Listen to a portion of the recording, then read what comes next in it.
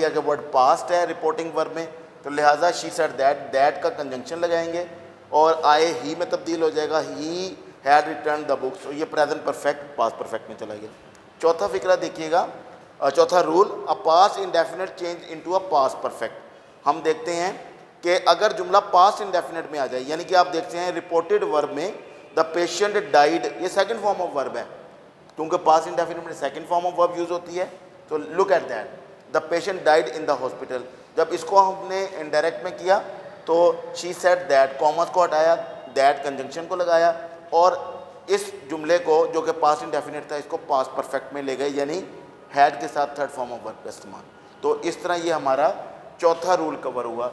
Let's see the fifth and the final rule and I would also share with you a recipe कि pronoun को कैसे तब्दील किया जाए। मैं आपके साथ एक रेसिपी भी शेयर करूँगा, एक टोटका शेयर करूँगा प्रोनाउन की तब्दीली के सिलसिले में। Let's yes dear viewers we are talking about the rules for changing direct speech in into indirect speech first fifth and final rule is के विल और शेल अगर आ जाए रिपोर्टेड स्पीच में तो वो किसमें तब्दील होंगे?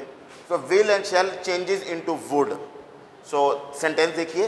He said she will go there इसको जब इंडायरेक्ट करेंगे ही सेड चूँकि रिपोर्टिंग स्पीच में सेड था, इसलिए हमने आगे वाला विल जो है वो वुड में तब्दील करना है।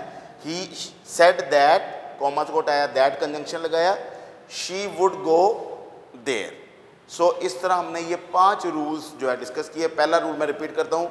First present in indefinite change into past indefinite. Second, present continuous change into past continuous. Third, present perfect change into past perfect. Fourth past indefinite change uh, past perfect. And fifth अगर will और shall आ जाएँ तो that will be changed into would इसके साथ साथ मैं आपके साथ एक बहुत इंपॉर्टेंट रेसिपी शेयर करने जा रहा हूँ बड़ा इंपॉर्टेंट टोटका शेयर करने जा रहा हूँ प्रोनाउन की तब्दीली के सिलसिले में वो है वर्ड एस ओ एन आप बखूबी इससे वाकिफ़ हैं एस ओ एन सन बेटा. लेकिन इस वर्ब को इस वर्ड को हम अपने प्रोनाउन की तब्दीली में इस्तेमाल कर सकते हैं. अगर सब्जेक्ट के अंदर फ़र्स्ट पर्सन प्रोनाउन होगा। अगर रिपोर्टेड स्पीच के अंदर फ़र्स्ट पर्सन प्रोनाउन होगा तो वो अपने सब्जेक्ट के मुताबिक तब्दील होगा, यानी कि रिपोर्टिंग स्पीच में जो सब्जेक्ट आ रहा है। अगर रिपोर्टेड स्पीच के अंदर सेकंड पर्सन प्रोनाउन है तो वो अपने ऑब्जेक्ट के मुताबिक होगा, इसलिए ओ लिखा हुआ है। और अगर रिपोर्टेड स्पीच में थर्ड पर्सन प्रोनाउन आ गया, यानी कि ही शी इट आ गया तो उसमें